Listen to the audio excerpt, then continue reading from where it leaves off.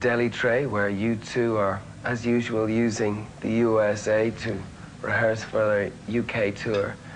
And we've just heard the sad and the bad news that it's all over for the best rock and roll show on TV for the Tube. So we got a little tune we want to play for you. Y'all.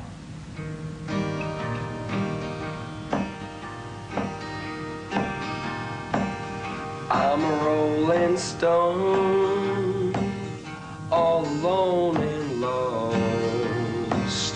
For a life of sin, I paid the cost.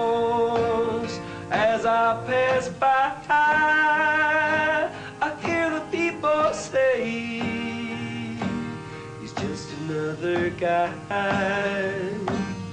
down the lost highway. Just a deck of cards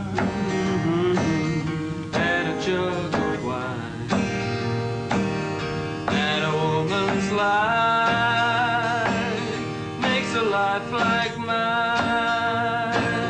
The day we met, I went astray. Just started down that lost highway. Well, in 1983, we released our third LP. It was called War, and it did really well for us. It was the first time we ever made money from playing live. With that money, we decided to make a film of the group live, Red Rocks. It's called Under a Blood Red Sky, and it was directed by Gavin Taylor.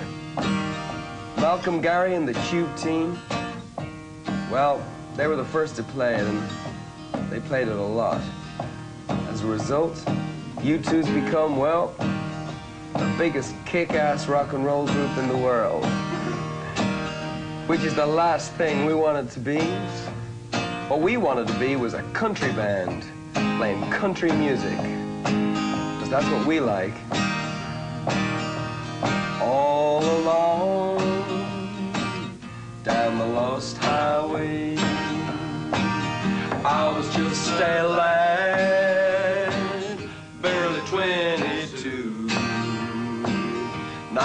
good nor bad, just a lad like you. But now I'm lost, too late to pray. Started down that lost highway. Started down